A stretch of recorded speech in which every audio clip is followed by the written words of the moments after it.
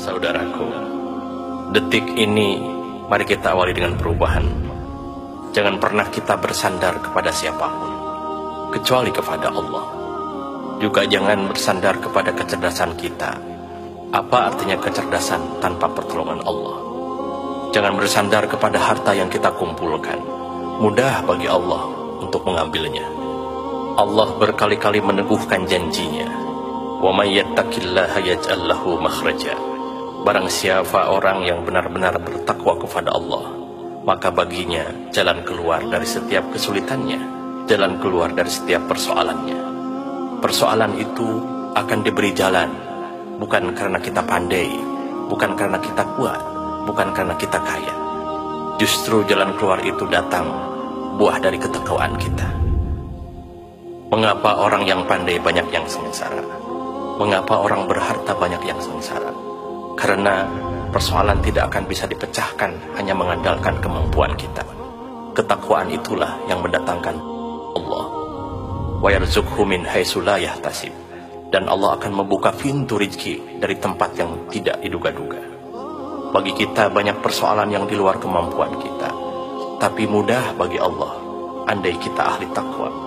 Jalan luas serta lebar menantinya. Allah yang mempertemukan dengan siapa yang dia kehendaki. Allah yang membuka pintu-pintu yang tertutup. Allah yang memudahkan segala sesuatu yang sulit. Ahli takwa akan dimudahkan oleh Allah. Wa may yatawakkal 'ala Allah fahuwa hasbuh dan barang siapa yang bertawakal kepada Allah akan dicukupkan segala kebutuhan lahir dan kebutuhan batinnya. Allah lebih tahu kebutuhan kita melebihi tahunya kita kepada diri ini. Oleh karena itu saudaraku Jangan sok tahu kita menghadapi hidup ini. Berat sekali tanpa ketakwaan, berat sekali tanpa ketawakalan. Seyogianya kecerdasan kita, harta kita, kemampuan kita, kekuatan kita adalah untuk membuat kita semakin takwa kepada Allah. Semakin teguh mematuhi perintah Allah.